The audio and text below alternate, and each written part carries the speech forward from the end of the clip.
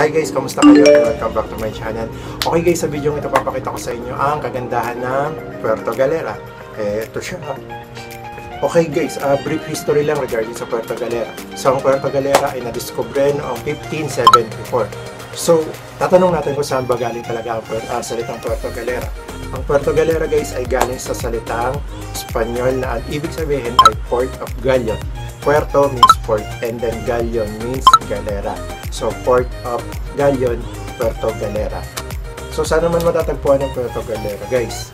So, Puerto Galera ay matatagpuan sa Mindoro. Paano pumunta dito? From Manila, kailangan mo sumakay ng bus papuntang Batangas. And then after Batangas, kailangan mo sumakay ng boat, ng ferry, o ng lancha, kung ano man tawag doon, para makarating ka sa Puerto Galera. Sa Puerto Galera guys is uh, isa siya sa mga uh, top destination ngayong summer. Sa Puerto Galera guys ay nag-offer ng um, island tour. So guys, nag-offer sila ng um, banana boat, ng island to island hopping, and then underwater cave na matatagpuan din doon. And then, uh, yung mga fish feeding, and yung makikita nyo yung mga uh, malalaking corals. guys. So, sa Galera guys is napakaganda. And then, kung mapupuntahan nyo doon guys, Tsak, magugustuhan nyo doon. So kung hindi pa kayo nakapunta dito guys, uh, just comment down below and then turo ko sa inyo kung paano pumunta doon.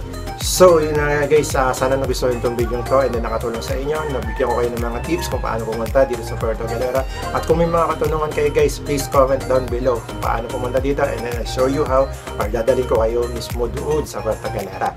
So, yun lang guys. At kung nagustuhan nyo itong video to, please huwag nyo pong kalimutan i-click yung like button or pakishare lang po sa mga friends nyo para magkaroon din po sila ng mga ideas. And then, kung hindi pa kayo subscriber dito sa channel ko, please uh, huwag nyo pong kalimutan i-click yung subscribe button. Ito po siya. Ito. Or yung notification bell button sa tabi nito para maging updated po tayo lagi sa mga latest videos ko. So, yun na lang guys. And bye!